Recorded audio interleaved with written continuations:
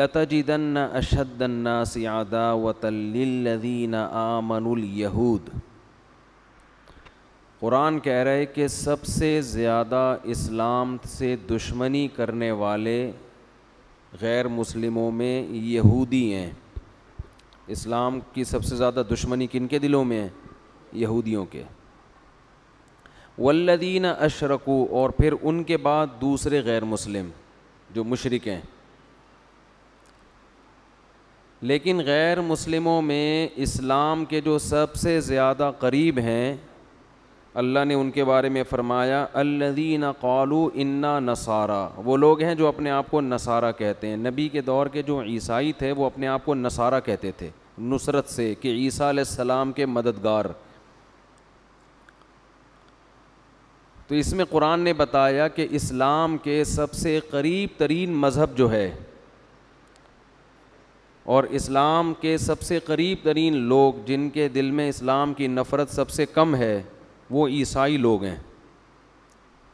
और ये एक हकीकत है कि आज भी दुनिया में सबसे ज़्यादा इस्लाम कबूल करने वाले जो गैर मुस्लिम हैं, वो क्रिश्चन हैं। ईसाई आपको मिलेंगे दुनिया मैंने तो अपनी ज़िंदगी में जितने लोग मुसलमान होते देखे ना, उनमें नब्बे फ़ीसद ईसाइयों को देखा है इस्लाम कबूल करते हुए। उसकी वजह क्या है? एक वजह तो कुरान ने यहाँ बयान की है और एक और वजह जो एक ग्राउंड रियलिटी है।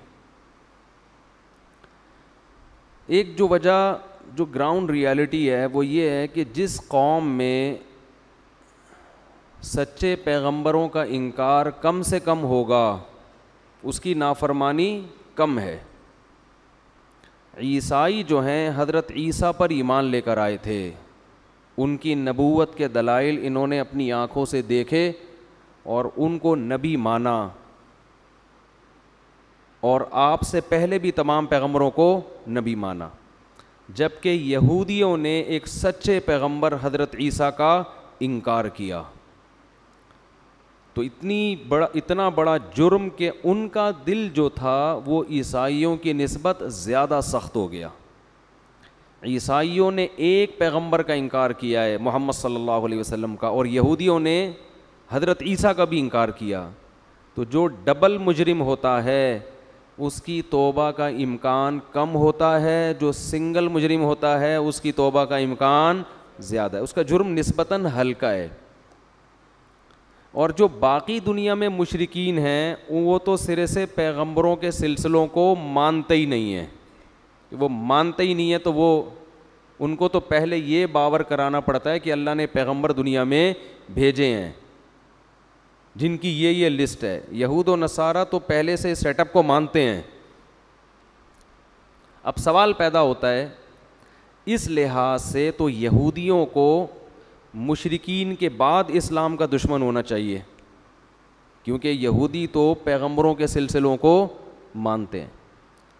और प्रैक्टिकल लाइफ में अगर देखा जाए, यानी प्रैक्टिकली जो यहूदियों का मज़हब है, वो अमली तौर पर इस्लाम के आज भी ज़्यादा करीब है। यहूदी ज़बह करके खाते हैं। जो मजहबी यहूदी हैं, वो सूअर का गोश्त नहीं खाते, वो नमाज़ भी पढ़ते हैं, वो वज़ू भी करते हैं, नेट पे देख लें आप, यहूदियों के वज़ू नज़र आएगा आपको। तो फिर तो यहूदियों को, चलो ईसाइयों की नस्बत करीब नहीं होते, कम अज़ कम हिंदुओं और दूसरी कौमों की नस्बत इस्लाम के ज़्यादा करीब होना चाहिए था, यानी महब्बत के अतबार से। लेकिन वो सबसे दूर इसलिए हैं कि इस्लाम ने उनकी चौधराहट को ख़त्म किया है आके। क्योंकि उनका अपने बारे में ख्याल ये था कि हमारे अंदर इतने बड़े बड़े पैगंबर मूसा कलीमुल्ला दाऊद अलैहिस्सलाम, सुलेमान अलैहिस्सलाम, ये सारे हमारे हैं। और बैतुल मक़दस हमारा किबला था। ये हमारे कंट्रोल में था। यहाँ हमारी खिलाफत कायम हुई थी। तो हम एक उम्मी नबी पर कैसे ईमान ले आएँ? तो इस जेलसी की वजह से, हसद की वजह से वो इस्लाम के सबसे बड़े दुश्मन हैं।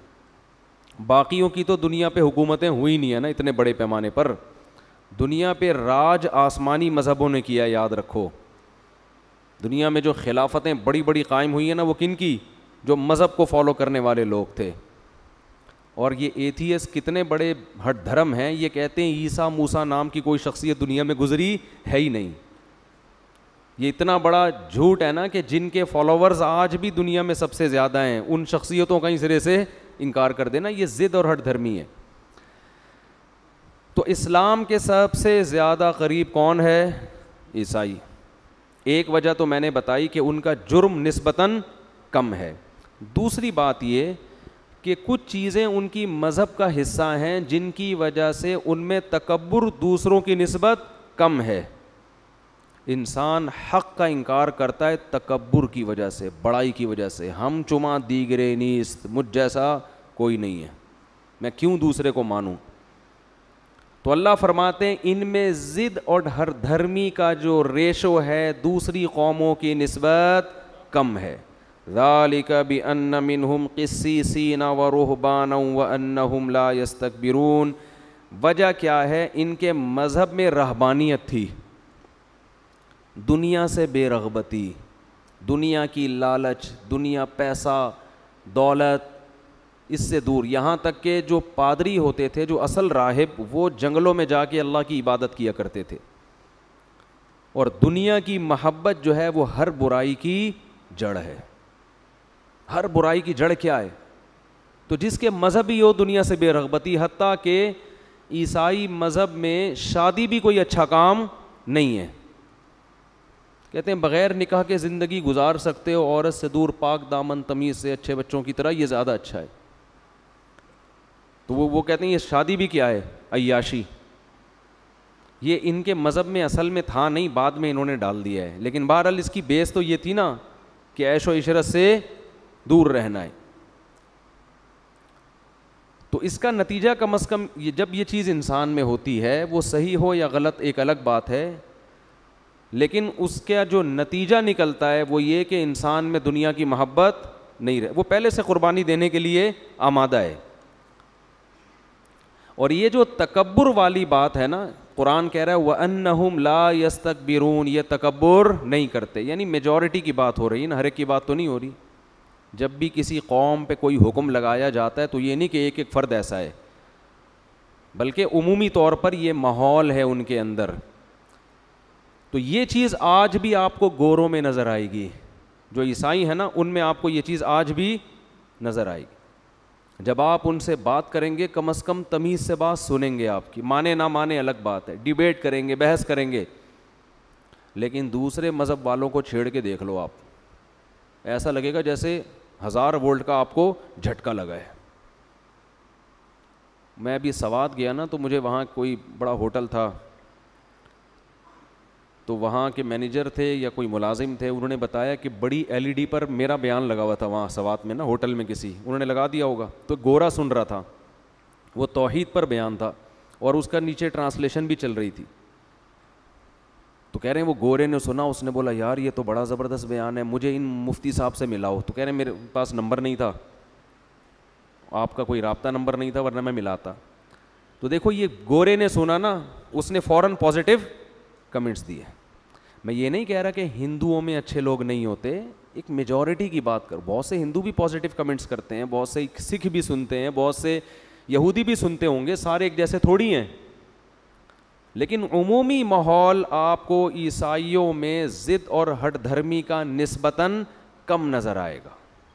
और ये एक हकीकत है कि दुनिया में सबसे ज़्यादा इस्लाम कबूल करने वाला मज़हब कौन सा है? ईसाई है वो करीब हैं इस्लाम के।